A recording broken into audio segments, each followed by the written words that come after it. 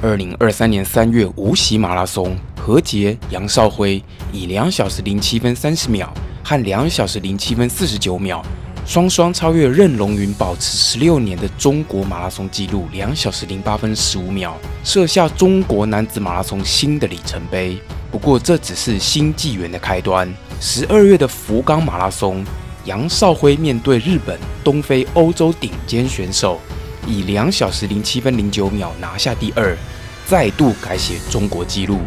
这个纪录也超越南韩的奥运银牌民族英雄李凤柱的两小时七分二十秒。中国终于在男子马拉松超越南韩，成为马拉松仅次于日本的黄种人国家。两小时零六分台近在咫尺。时隔仅仅三个月，杨少辉再度对决何洁，两人良性竞争下。何洁以两小时零六分五十七秒，一举突破两小时零七分大关，跑进两小时零六分台，再度改写中国纪录。再快二十三秒的话，就能进入平均配速每公里三分以内的境界。本集我们来回顾曾经站上世界最顶峰的南韩男子马拉松，再来看这五年来急速崛起的中国男子马拉松。亚洲男子马拉松一直都有日本主宰，韩国是少数能跟日本抗衡的国家。南韩马拉松板凳深度虽然一直远远不及日本，不过在人类马拉松历史上，很早就树立了优良的传统，留下不少传奇故事。一九三六年柏林奥运，当时韩国被日本殖民，就有两位韩国选手代表日本出赛男子马拉松。孙基珍一举拿下黄种人在这个项目的第一面金牌，南生龙拿下铜牌。在那个只能穿薄底布鞋甚至是皮鞋跑马拉松的年代，孙基珍在一九三五年二度改写世界纪录，正式最佳为两小时二十六分四十二秒，一直保持到一九四七年，被自己所指导的徐润福以两小时二十五分三十九秒改写。一九零八年才开始有记载的世界马拉松纪录史上，韩国人曾经主宰了十三年之久。孙基珍的故事也被拍成电影《没有国家的冠军》，在二零二三年上映。时间快转将近半个世纪，在这漫长的四五十年间，韩国或者说南韩马拉松跑者没有再改写过世界纪录，但和日本跑者在世界马拉松舞台上互相较劲。一时有现在肯亚和伊索比亚竞争的味道。二十世纪尾声，南海马拉松迎来第二波荣光。一九九二年巴塞隆纳奥运，孙基珍在长达半个世纪的教练生涯尾声，指导的黄永作和日本森下广一在中盘最后的地狱爬坡展开了史诗级的决斗。最终，黄永作胜出，拿下堪称奥运马拉松史上最虐的金牌。一九九六年亚特兰大奥运，李凤柱在炙热的天气下跟上南非军团后半的突围，最后拿下银牌。他也在之后的十多年选手生涯中拿下波士顿冠军、两面亚运金牌，和黄永座一样，在南韩有着民族英雄般的崇高地位。直到二零零零年时，南韩男子马拉松达到一个鼎盛，亚洲前二十节就有五席。李凤柱、金义勇高居当时亚洲历代第二和第四节，都有两小时零七分台的水准。另外，包括黄永作在内，三人都是两小时零八分台。当时中国纪录保持者胡刚军的两小时零九分十八秒，排在亚洲当时历代第二十四节。二零一零年前，南韩的第二波荣光淡去后。往后十几二十年，只有池永俊跑出过两小时零八分三十秒为一线的水准。中国方面，二零零七年任龙云跑出两小时零八分十五秒，但昙花一现，也没能在国际舞台上擦出火花，也没有带动中国男子马拉松整体水准。亚洲马拉松完全被日本选手制霸。二零一零年，这种情况仍然持续不变。大韩民族至少用成绩和奥运金牌证明过，中华民族男性耐力是不是不佳，也几乎快要变成一种共识。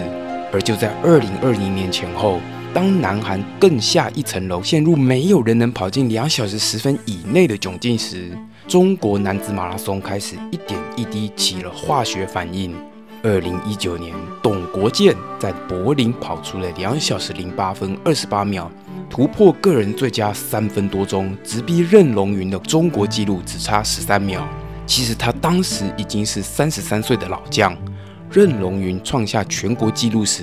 董国建已经是二十岁出道的选手。而他这个打破僵局的成绩，也是中国男子马拉松正式启蒙的开端。不过，也不是二零二零年就大爆发，而是每年慢慢酝酿的方式。从一九八零年出生的老将，到两千年出生的新生代，越来越多人从田径场投入马路的比赛。跑进两小时十五分和两小时二十分的选手越来越多。除了精英选手，这段期间中国的马拉松从上到下，一线到三线城市都纷纷开始举办马拉松，多场申请到国际田总的金标、银标和铜标认证。除了城市马拉松，各种主题的赛事，像是森林马拉松、越野马拉松、沙漠马拉松，甚至冰雪马拉松也纷纷出现。赛事质量爆发，带动了很多参与的人口，加上网络上社群和自媒体的蓬勃发展，专业知识和经验分享更迅速的传播，各种层级的市民跑者犹如井喷般的成长，破三人数成长数以万计。二零二三年北京马拉松就有两千四百人破三，而二零二四年无锡马拉松破三人数更来到了三千四百多人之多。中国每年跑进两小时二十分以内的跑者也成长到五十到六十人之多，其中包含多位素人，也已经不是新鲜事。虽然不及每年平均两百人以上的日本，但也海放十到二十人的南韩了。这种参与人口的质量迅速滚雪球般串联了各种相关产业，马拉松急速商业化，成为一个持续扩大的市场。这个市场最受消费者瞩目的一部分，莫过于是跑鞋了。中国多家运动品牌也在这个爆发的市场迅速发展起来。各家研发制造的碳板鞋，在二零二二年左右达到一定的水准，在精英选手的成绩上也得到了验证，在国内达到很大的普及率，也慢慢往世界各地扩散。回到中国男子马拉松崛起。经过几年训练和尝试的酝酿，二零二三年是许多中国男子马拉松跑者开花结果的一年。有三十人跑进两小时十五分以内，有八人跑进两小时十分以内。那就如开头所提到的，何洁和杨少辉在良性竞争下，把全国纪录一路往前推进，现在来到了两小时零六分的领域。而且不止他们两位进步。二零二三年十月以来，不到半年，已经有六位中国跑者超越任龙云二零零七年所写下的两小时零八分十五秒。二零二零年之后的四年多之间，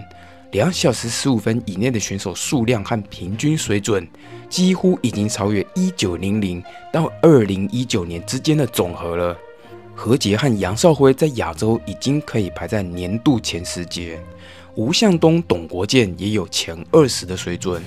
而何洁和杨少辉相较大多数稳定测验型的日本选手，在国际赛上也许更具竞争力。他们在杭州亚运和北韩的韩日龙缠斗，三人拿下前三的画面让人印象深刻。韩日龙在这次无锡马拉松跑出两小时零九分四十二秒，成为首位跑进两小时十分大关的北韩跑者。中国北韩的大跃进，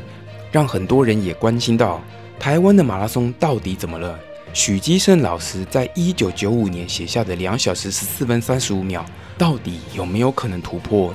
这个一言难尽。之后我们可以好好聊聊。各位脚友们有任何想法、建议跟讨论，欢迎留言分享。我们不停脚，下次见。